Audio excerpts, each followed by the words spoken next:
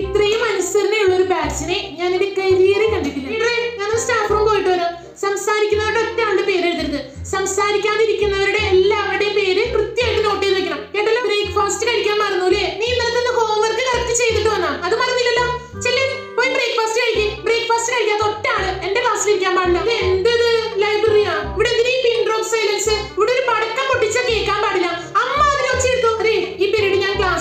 സ്പോർട്സിന്റെ എന്തോ ഇമ്പോർട്ടന്റ് കാര്യങ്ങൾ പറഞ്ഞു തരണമെന്ന് പറഞ്ഞിട്ട് പി ടി സാർ എന്റെ പീരീഡ് വാങ്ങിച്ചിട്ടുണ്ട്. സോ മാത്സ് നമുക്ക് ഫ്രീ ആയിട്ട് എപ്പോഴെങ്കിലും എടുത്ത് തീർക്കാം. വലിയ പഠിക്കാനൊന്നുമില്ലല്ലോ